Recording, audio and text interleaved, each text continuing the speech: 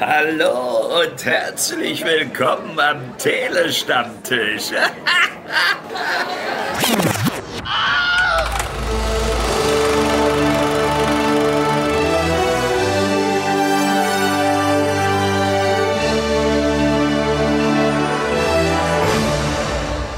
Hallo, willkommen beim Telestammtisch zur Besprechung des Films Motel Destino, der ab dem 14. November in den deutschen Kinos zu sehen sein wird und der uns so ein bisschen den Winterblues vertreiben möchte mit, ja, ich sage, nordbrasilianischem Feuer und Fieber.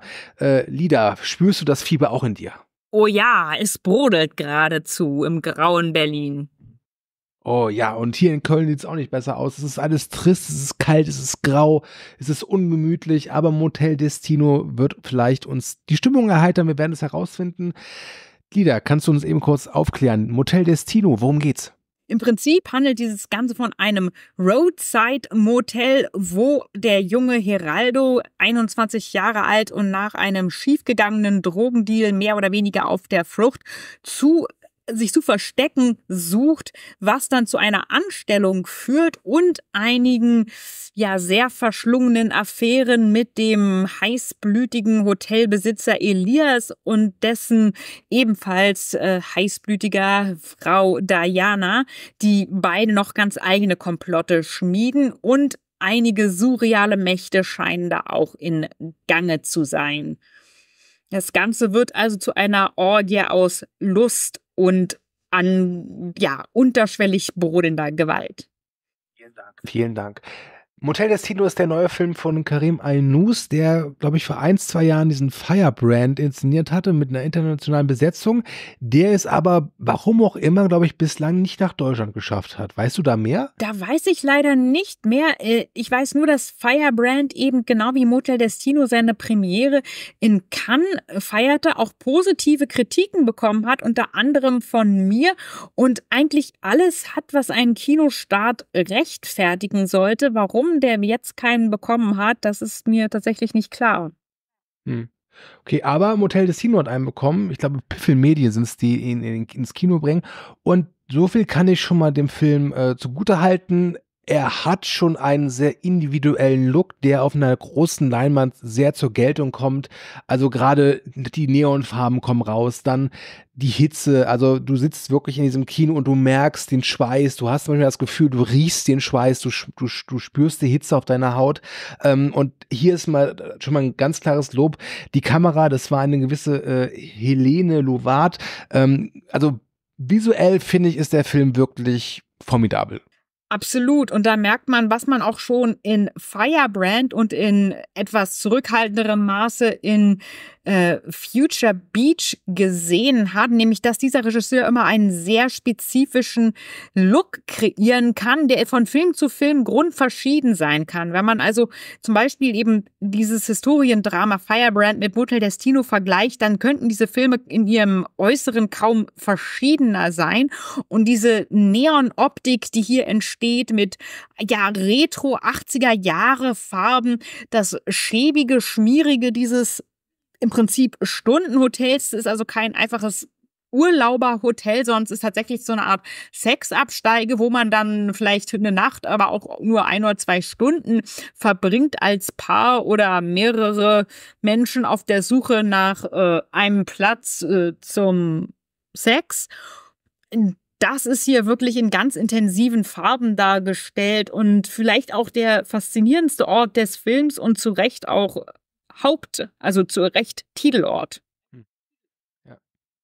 Sex zieht sich ja wirklich durch diesen Film mit einer sehr hohen Konstanz. Ähm, ich finde allein schon, also der Film beginnt dadurch, wir sehen diesen Heraldo, wie er mit seinem Freund am Strand steht und irgendwelche Übungen macht und da hatte ich schon das Gefühl, da knistert irgendwas.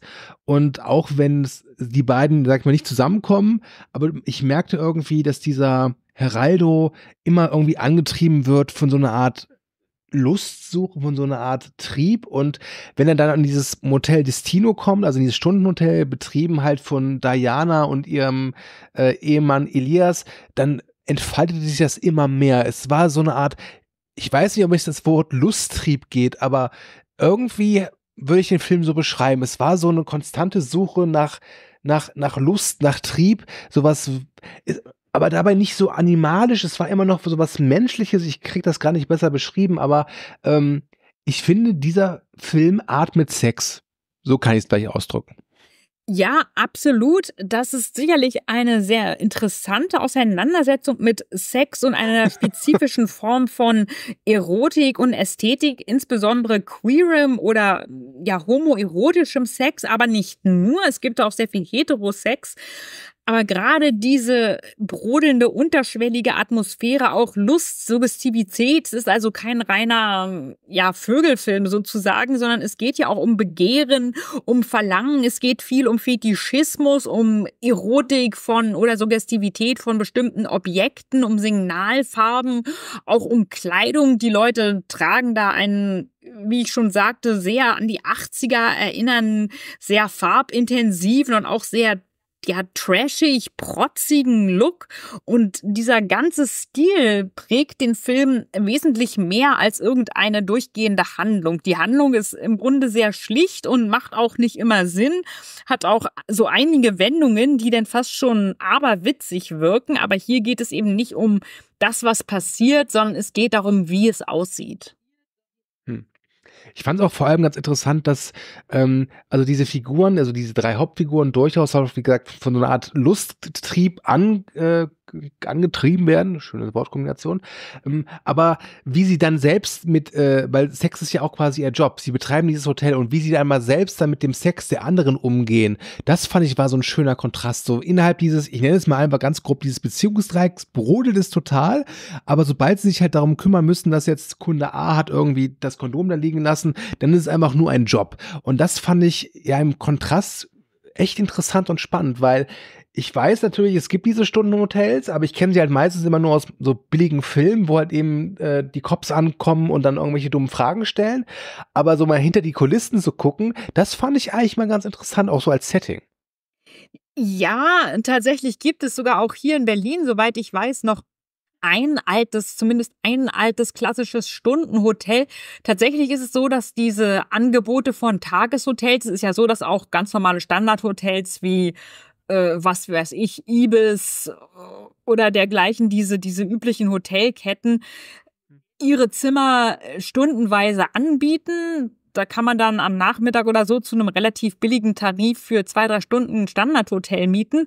Oder es gibt die Airbnb-Optionen, die dann oft, selbst wenn man den ganzen Tag bucht, was ja meistens das Mindeste ist, mitunter so preiswert sind, dass man weniger zahlt als ein Stundenhotel und eine nettere Atmosphäre hat.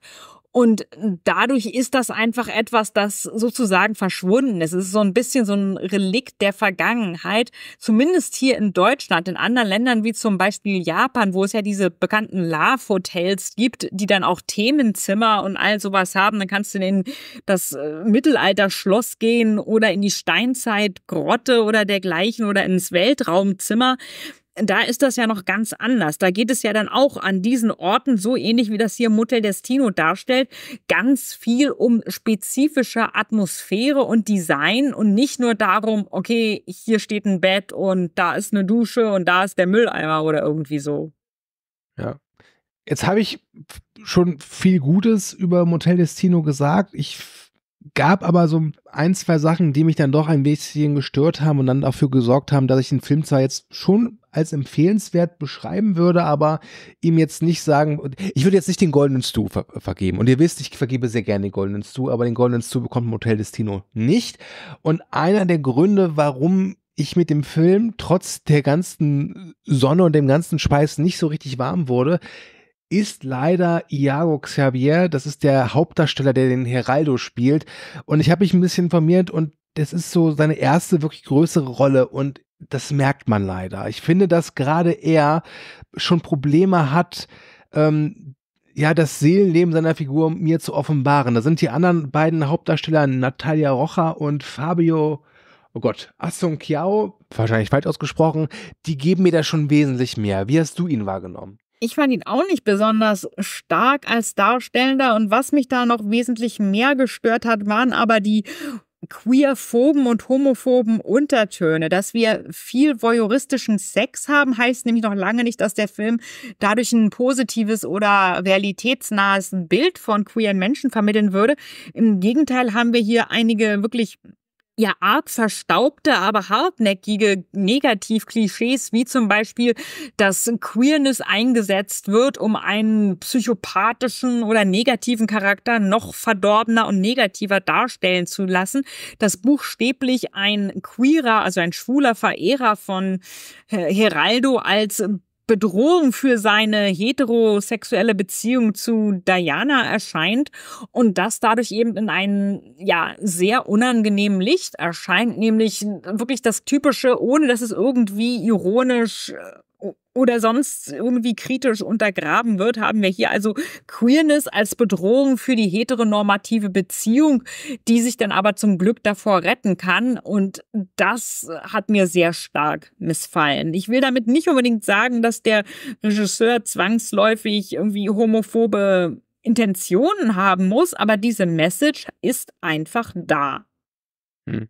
Ich muss auch sagen, dass diese Figur des Hoche, das ist ja sowas wie der Hausmeister in diesem Stundenhotel, ähm, ich fand sie auch relativ unnötig irgendwie. Also ich hätte das, glaube ich, gar nicht gebraucht, weil zwischen dieser, ja, diesem Dreieck aus ähm, Heraldo, äh, hier ist der andere, Elias und halt eben Diana, da hat es eigentlich schon genügend äh, Knister und äh, ja, Konfrontationspotenzial gegeben. Und ich muss auch sagen, gegen Ende, wenn der Film dann fast, also fast schon ein bisschen in Richtung Thriller schielt, das war mir dann auch irgendwie too much tatsächlich. Also da hat er mich dann auch verloren. Tatsächlich ähm, ist das ein bisschen wie dieser Anfang, der am Ende nochmal ange, also ein bisschen aufgegriffen werden soll. Der Film fängt ja auch völlig überdreht mit diesem Drogengeschäft an, was dann für die längste Laufzeit, also den längsten Teil der Laufzeit einfach fallen gelassen wird. Also da merkt man deutlich, dass dieses Drehbuch nicht nur ein paar Holperer hat, sondern wirklich die reinste Schottersteinstraße ist.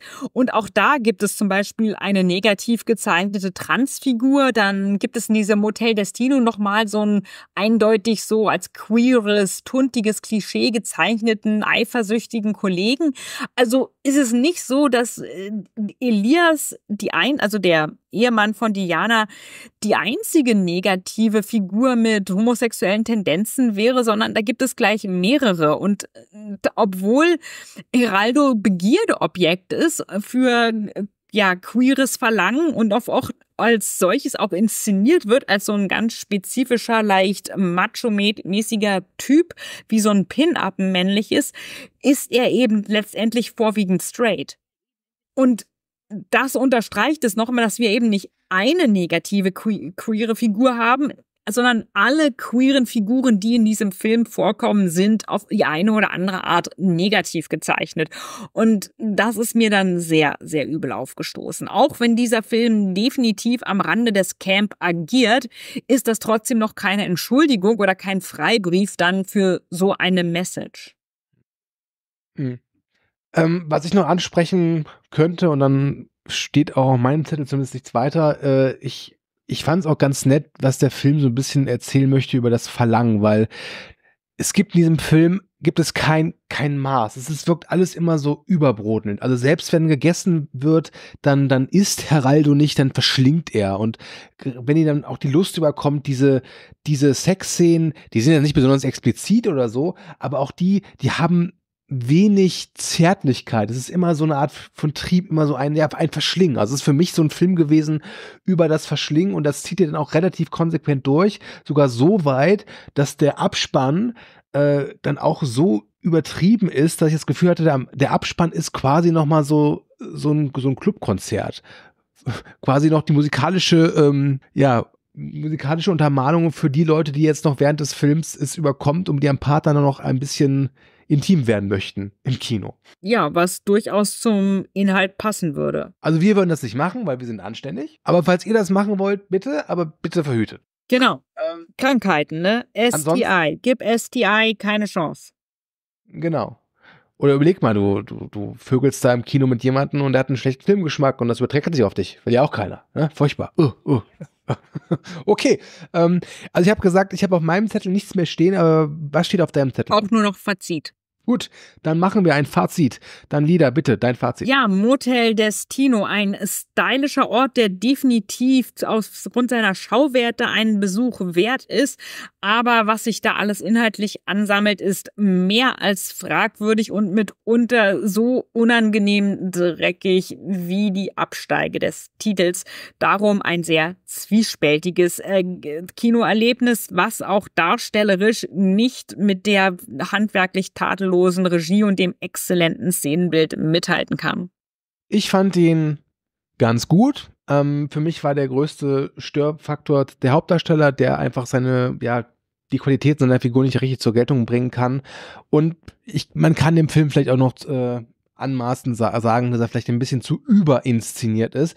Aber ansonsten war das schon eine, ja, eine ganz interessante Zeit vor der Leinwand, wobei ich auch sagen muss, ich glaube, das ist ein Film, ich glaube, das ist kein Film für den Mainstream. Das kann man, glaube ich, so sagen. Aber wenn ihr Interesse an dem Film habt, geht auf jeden Fall rein. Wie gesagt, ab 14. November in deutschen Kinos. Und eins kann ich euch versprechen, Sonne bekommt ihr in dem Film satt.